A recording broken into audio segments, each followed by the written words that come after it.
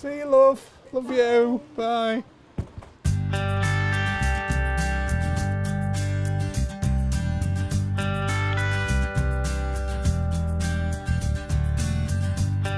My name's Tim Adkin. Uh, I live in Scarborough, North Yorkshire. My background was in the textile business. I actually had a, a, shop and a series of market stalls selling ladies' clothing. In the 80s and up to the early 90s, this became quite a profitable business. It afforded us a, a good living. But the recession kicked in in the early 90s. Oh yeah, you all right? Snap-on originally interested me because uh, it offered a, an opportunity to be uh, self-employed. Uh, I knew it was a, a premium brand. Uh, I knew that uh, it was a good product which would uh, give you a serious edge over the competition due to its brand strength. It had no technical experience, I had no garage experience, no motor trade experience of any kind. The, the one thing I had going for me really was my business experience. Having a look on? Yeah, good one, yeah. yeah. If you can build a relationship with your customer, then you're halfway there. You need to go in there, talk to customers, entice them on the van, which they want you to do. They like you to sell to them. You are often the highlight of their day. No matter what they make out of you and whatever they say that you do or don't do, they're always queuing up to come and see you the following week.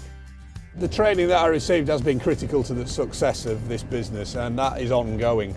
If you need any help in any aspect of the business, whether it be collecting money off an awkward customer or um, fixing a product which is a little bit beyond your capability, the manager or whoever you need is there to help the stud's frozen in or whatever, this will get it out and it won't damage anything around it because the heat's localised.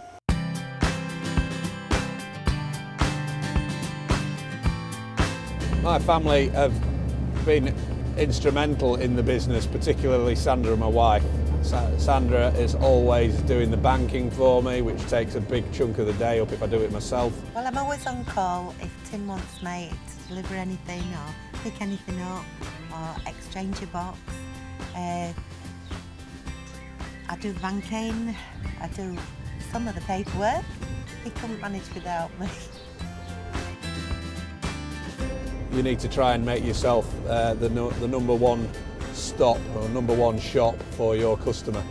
And if you give him a good service, then that is going to, that is going to develop. Definitely I would recommend a Snap-on franchise to other people. Uh, again, if you uh, are prepared to work uh, Monday to Friday from 9 till 5, then this is not for you. But if you don't mind putting the hours in, and they could be long, you will definitely re reap the rewards in this business.